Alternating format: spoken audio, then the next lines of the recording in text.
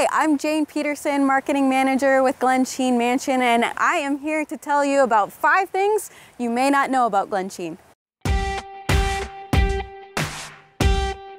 So here's where we have our bonfires. The only legal place in Minnesota on the shores of Lake Superior where you can have a bonfire.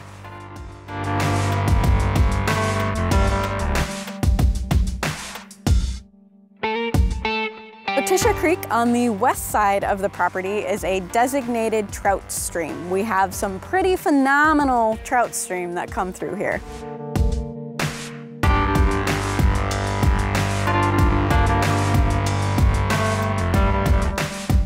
Morell and Nichols were the landscape architects for Glensheen and the Congdon property. They were responsible for the design of bridges, parks, entire neighborhoods in Duluth. So you'll notice the stone bridge in the property of Glensheen looks very similar to the rest of the bridges in Duluth. But what's really cool about Morell and Nichols is Glensheen was their gateway project to the rest of Duluth. Glensheen in their vegetable garden donates over 2,000 pounds of produce each year to the Second Harvest Food Bank.